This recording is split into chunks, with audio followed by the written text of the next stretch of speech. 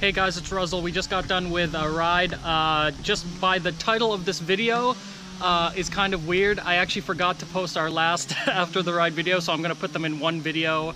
So stay tuned for both uh, if you so choose. Uh, but yeah, stay tuned for our after the ride video number, what is this, 18? Anyways, bye. This is us checking the light. Ready?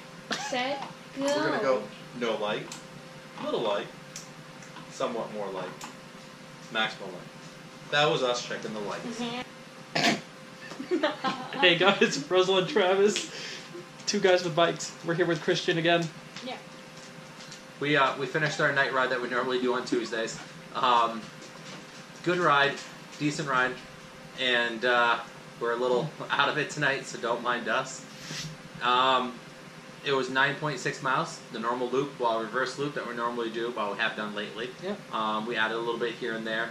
I got them go off the beaten path with me to, so I could check something. Um, it worked out well. It's a very rooty path. Yeah, we Christian and I had to get off towards the end because, uh, unlike Travis, we're not as adventurous going downhill on rooted pa- He has a fat bike. Is in, in other words. Yeah, You know, and we did have an interesting conversation um, on the way back. is if Russell got knocked unconscious, at what point could we cut off his thumb so we could use his smartphone? Because his thumb is what turns his phone on. So, at what point, un- when he's unconscious, are we allowed to cut off the thumb? Just don't think about the part where there's a, a 911 thing, emergency 911 call. Just cut off his thumb before you do that. and my answer is at no point are you able to cut off my thumb to unlock my phone. Just saying. He's saying he he says he doesn't really care about our safety. He want, he doesn't let us cut off his thumb. Yeah. So, but uh, we just wanted to touch base and tell you guys that we're still out, we're still biking. Um, really, it's a great time at night. We're having a good time. Uh, been a busy week uh, Yeah. for everyone. Yeah, um, on the way back, we also chatted about um, a few housekeeping type things. We're planning our bigger ride for the year, so stay tuned for that. Um, We in in November it'll be one year since we started biking. Um, an actual coming up with the blog and getting it all in order and getting up the YouTube and everything like that. So in like I don't know how many weeks away November is, but uh, sit for six weeks. Six weeks. it'll be one year. So we're talking about things that we could do to kind of say one year mark, yay us. Yay! Woo! And I am uh, 14 miles away from my goal for this year. Um, so I'm very happy about that. My goal was 500 miles, and I'm 14 miles away from that. Um, so I'm hoping to uh, get a video of when that thing hits the 500 mark.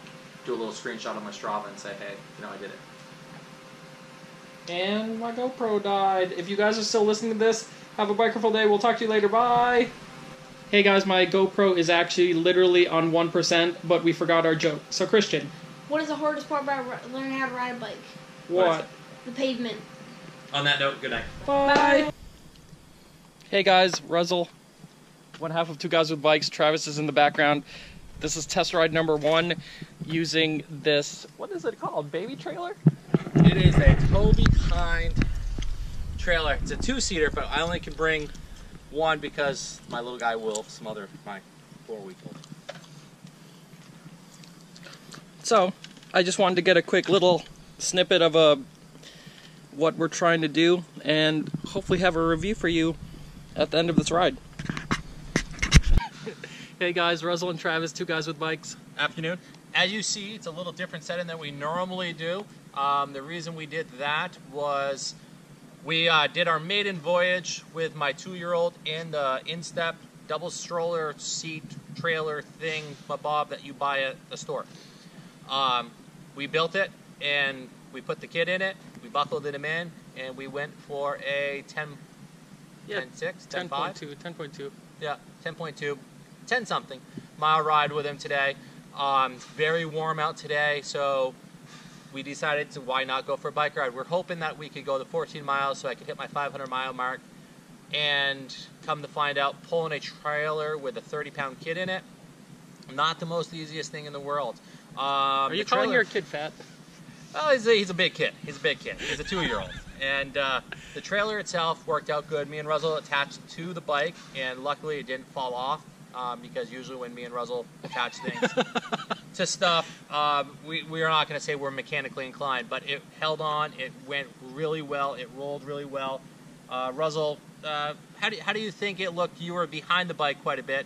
Get a little nervous on anything? Yeah, uh, I noticed that you have to be mindful of staying in the middle of a sidewalk because the back wheels of the trailer actually come out a good distance from what your bike would go out. So if you're not in the middle, the chances of you going off the edge of the sidewalk or into a ditch are pretty high. Um, you just have to be mindful of that.